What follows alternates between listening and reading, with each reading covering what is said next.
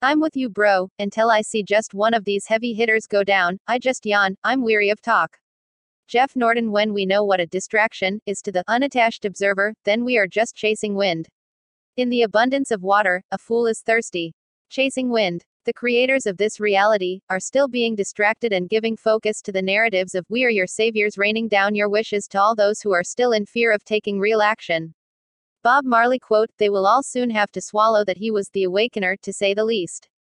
Most people think great God will come from the sky, take away everything, make everybody feel high. Sounds like the opium dust fairy.